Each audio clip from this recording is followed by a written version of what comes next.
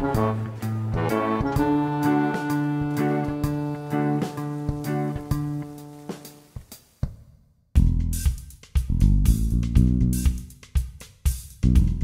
I am a self-taught chef. When I was a couple years out of college, I got into uh, raw vegan cuisine. It helped me lose about 50 pounds over the course of a year. That really inspired me to help other people eat healthfully. I make lots of interesting dishes with just fresh fruits, nuts, seasonal vegetables. Everything's full of water, lots of live nutrients that your body can digest easily. We'll make a lot of noodles with vegetables. So in the winter, we'll do like a butternut squash noodle. One of our favorite raw vegan dishes is an avocado chocolate pudding.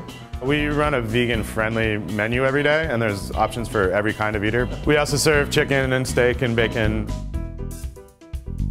Source from a lot of local artisans. So we buy local kombucha, we buy locally made breads, um, even ketchups and sauces and cookies. We like to do international menus. Um, we like to do menus that'll feature a certain ingredient. For fun, sometimes we even run musically themed menus. We take an artist, and every dish is either a, a play on um, the name of a song, or a lyric from the song, or a member of the band. For the Led Zeppelin menu, there was Scramble On. Um, for the uh, Tupac menu, there was Kale Mary. For the Bob Marley menu, there was uh, Josh Guastafari.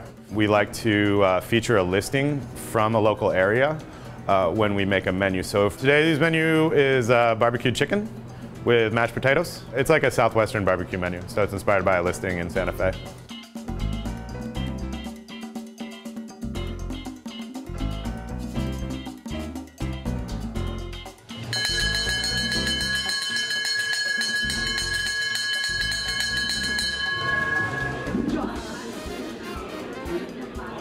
We serve everything buffet style, so it's very familiar, it's very casual. We can serve a lot of people at once.